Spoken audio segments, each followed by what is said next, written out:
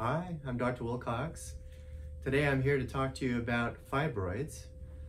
It turns out that a lot of women going through fertility treatment will be diagnosed for the first time with benign tumors in the uterus. These are monoclonal tumors. They tend to start with a single cell and grow slowly over a long period of time. Most of these tumors are estrogen dependent tumors. So while you're premenopausal, the tumors will grow slowly and then once you're postmenopausal, they often will stop growing or even shrink. They're solid tumors with poor blood flow. Uh, they can expand and reroute blood in the normal healthy tissue in the uterus, and in some cases can have adverse effects either getting pregnant or during the pregnancy. So when uh, we do an ultrasound and we're assessing the uterus, we're looking for pathology. Anything that could adversely affect blood flow could have an impact on implantation, and fibroids are one of the common findings. Uh, anywhere from one in four to one in two women uh, will have fibroids depending on your ethnic group. Certain groups have a higher propensity. We do believe that many of these tumors are genetically uh, predispositioned, so you can get a genetic preload from your mother, for example. If she had fibroids, you're much more likely to have fibroids yourself.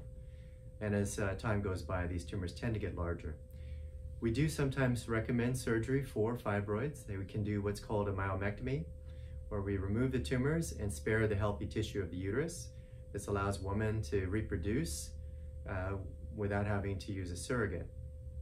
When we do see patients for a myomectomy, there are three criteria that are commonly recommended to consider doing surgery.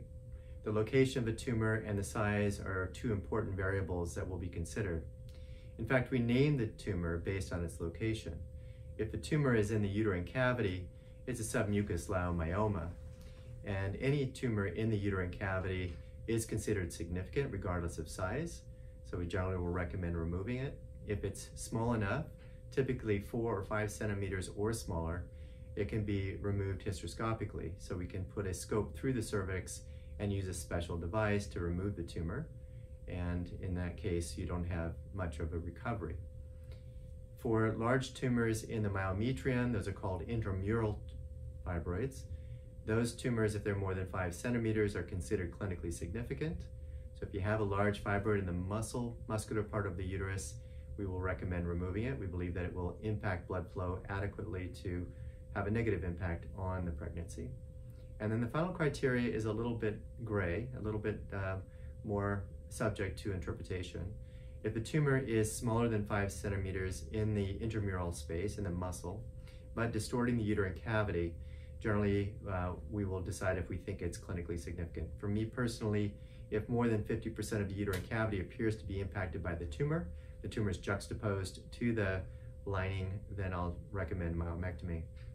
Uh, the last location, which is not considered clinically significant, is the outer part of the uterus, a subserous leiomyoma or subserous fibroid. Those are tumors that can get quite large uh, that don't have a direct impact on blood flow in the area where the baby implants and are not considered clinically significant. So if you are diagnosed with a fibroid, it gives you some idea what we're thinking about, and I hope this helps. Thank you.